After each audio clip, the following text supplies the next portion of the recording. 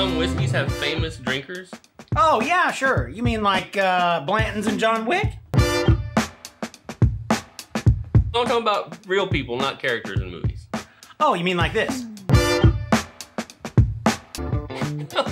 Kermit the Frog. He's not real either. I thought we discussed this previously We- that he's real. We had a discussion. This has to be about real people. So, you know, like real celebrities. Okay, okay, I got you. So we're gonna talk about real famous people. How about famous whiskeys famous people like to drink? That sounds like a great plan. Right after this.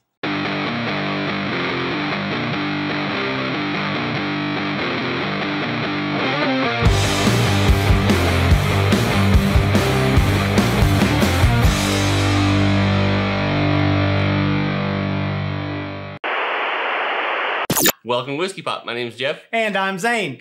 and today we're going to talk about famous whiskeys drank by famous people. Real people. Real people. Yeah. You mean like uh, Martin Sheen? Yeah, but I don't know what Martin Sheen might have drank. How about Dean Martin? Ah, Dean Martin. But before we do that, ah, we probably should crack open something. And today, we're gonna share the love and prove that once and for all that pine saw is not the number one ingredient in Canadian whiskey. That's right. Even though this was probably made in Austin, Texas. You're ruining it.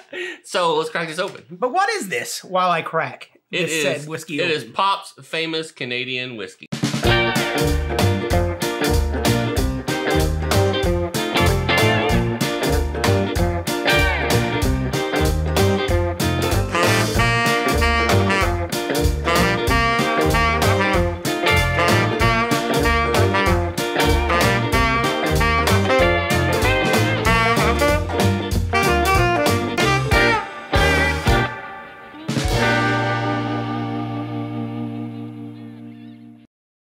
Now the neat thing about this whiskey is one, it's fairly new, new enough that there's not a lot of reviews out there on this. That is right. And so, without going into 100 details, it is something like they get whiskey out of Canada and finish it in Austin, right?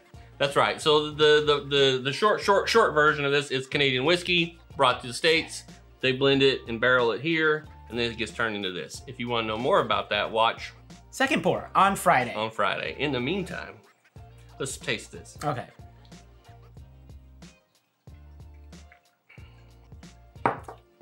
I mean, I really can't complain so much. So, No, I can't complain. all right. So let's let's talk. All right. So today we're going to talk about famous whiskeys drank by famous, Famous people. people. Yeah, and so I was joking around, but obviously we're gonna say first off, let's say Dean Martin. I think the only reason why I got into this cape is so I could see you again. Sounds like a hell of a price, and I agree with you. I'm worth it. When the moon hits your eye like a big pizza pie, that's amore. Sir, you, you've been playing, you've been playing greater than ever, Louis. Oh, thank you, Dad. Go on back to the bottle. Get drunk.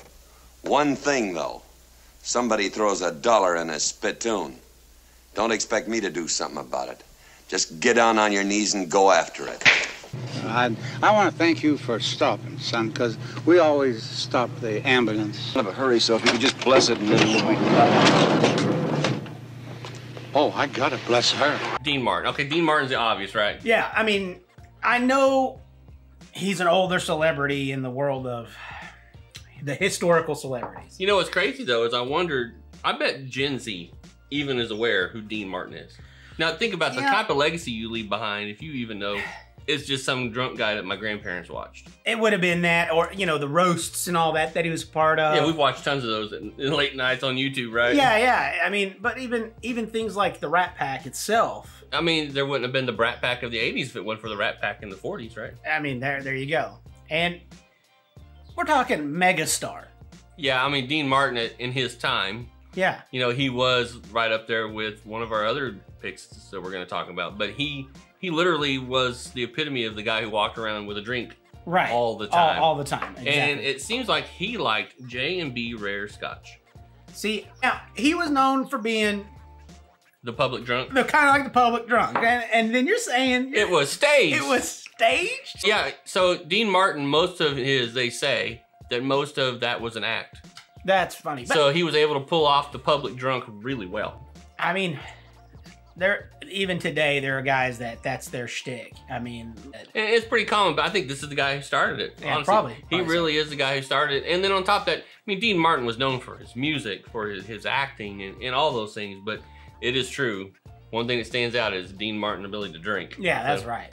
All right, so our next fella Yeah, seems to run around the same group in the same crowd. And it, you can't list famous whiskey drinkers without listing these guys. So it's another one of the Rat Pack, the leader of the Rat Pack, Oh, Frankie boy. Blue Eyes himself, Frank Sinatra. Yeah, Good morning. My name is Frank Sinatra. Luck be a lady tonight. And who asked you to sit down? Get up. She insisted upon diving in the pool. And when she hit the water, the wine hit her. Why aren't you a girl? Why aren't you a girl? If you don't know that, and it shouldn't make any difference at all. Yeah, now look, I know that again, we're talking about somebody who may not seem relevant until you start realizing their influence into pop culture. I mean, how many movies have you ever seen that's got a Frank Sinatra song in it? Oh my gosh, it's everywhere. And so that in itself is is a legacy left outside the fact he did like Jack Daniels. He, not only did he like Jack Daniels, I honestly believe that in the, the last hundred years, he really put Jack Daniels on the map. Now, it wasn't like Jack Daniels wasn't a popular whiskey before Frank Sinatra, yeah. but when you got somebody with the power of Frank Sinatra saying, This is a gentleman's drink, Jack Daniels.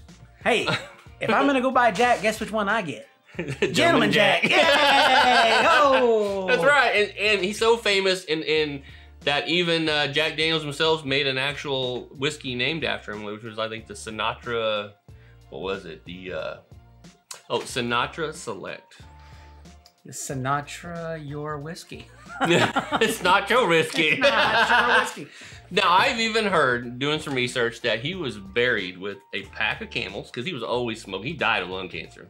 Well, I didn't need to know that. Thank you. He, he, he pack of camels, a Zippo lighter, Ten Um, dimes. ten dollars, Yeah. ten, ten dimes. I read your notes too. That's right. I'm glad you read those notes.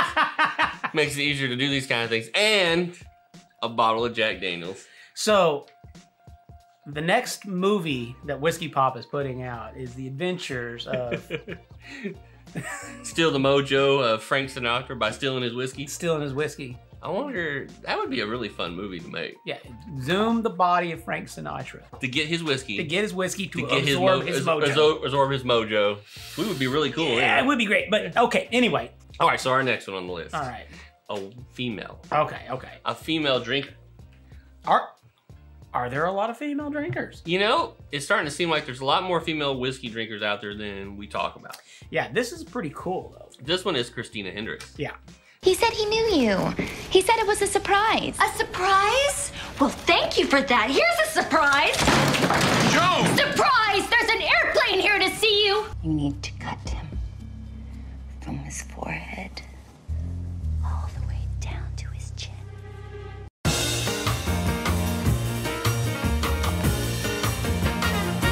It's classic. It's bold. It's Johnnie Walker. And you ordered it. Now, Christina Hendricks, she's been in, was it the uh, Good Girls TV series? And before that, she had been in this little TV series This known time, as- man. The Mad Man Men. Yeah, I mean, obviously, obviously, she's gorgeous. You know, yeah, she's- super smart and just really a good actress. But in the show Mad Men, she was started dating, I think her, at the time, was her husband. And he drank a lot of scotch. And she Yeah. just thought how cool it was to see her husband order a scotch. Johnnie Walker to be that. Yeah. okay. And she started trying it. Next thing you know, she became a huge scotch fan. So, I guess uh, showbiz came to reality in this case. In in this case, it did, and luckily, she hasn't, you know, expounded too much on how much she really likes black and blue Johnnie Walker. I can tell you everything she? about Black and Blue, Johnnie Walker, but you know, I'm not being bougie. Not No. on this show. Next one, another female, Okay, yes. a more modern female like Christina Hendricks. Yep. Uh, Mila Kunis. Shut up, Meg. Oh my god, you guys, guess who's gonna be in the Miss Dairy Princess pageant? Oh, I know. A cow?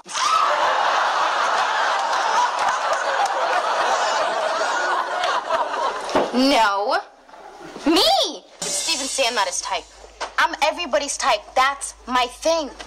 You know, Jackie, I think maybe um Hyde's moved on. No, no, no, no, no. You don't just move on from Jackie Burkhart. I'm like the bottle. You need a 12 step program to break my spell. Oh, this is gonna be great! We'll stay up late, trade stories. Ooh, let's watch the video of my ballet recital. Here it is! Sunshine Bear! Wait!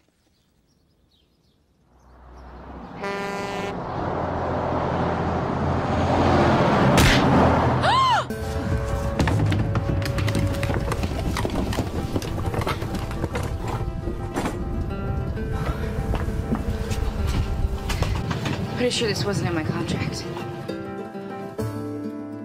Now let's clarify. She's the spokesperson for, Jim Beam. for Jim Beam, She does love Jim Beam, but she's also the spokesperson for Jim Beam. So it seems like she kind of paid that way, but she has stated she was not a whiskey drinker before that.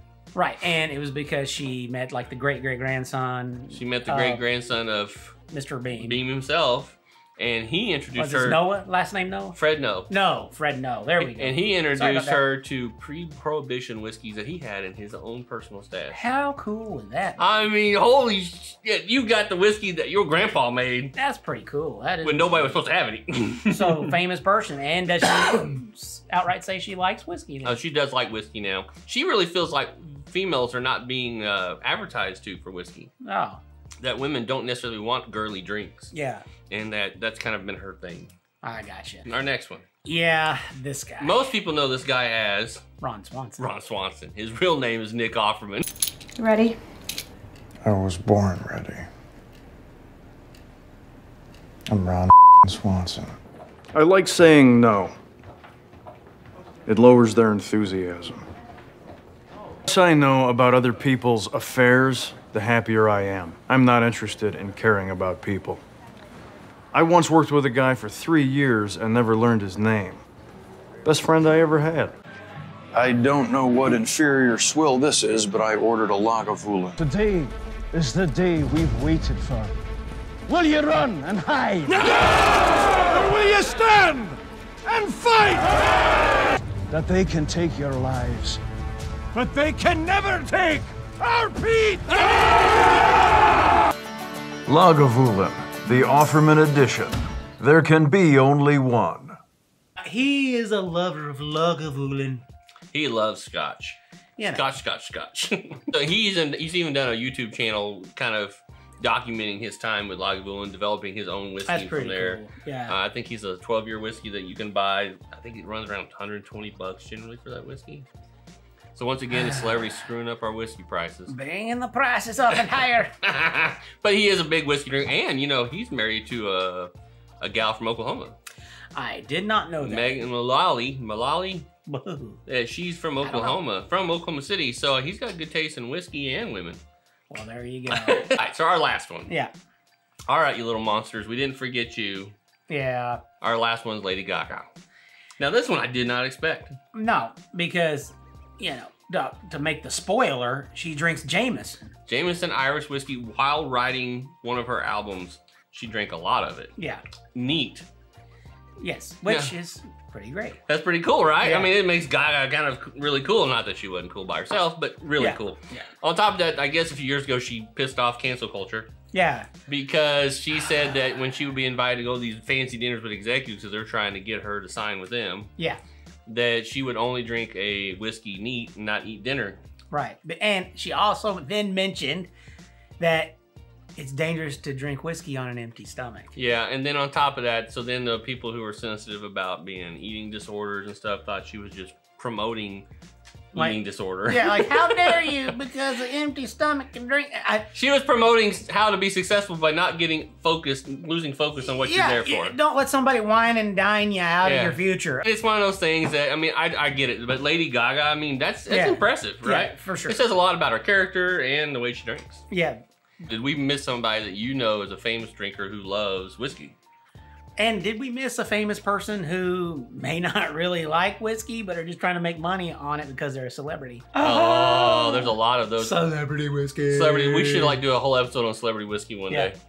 But hey, if you can think of somebody that's super famous that we missed, uh, and Yeah, let us know down below. yeah, let us know. You know, or is there a whiskey that you think that we named today that you didn't know that that celebrity loved that whiskey so much? Yeah. Does that change the way you feel about that whiskey? Right. You know, because it does seem like a celebrity says something about whiskey and everybody's buying it. Even like Bill fucking Murray. For relaxing times. Make it Suntory time.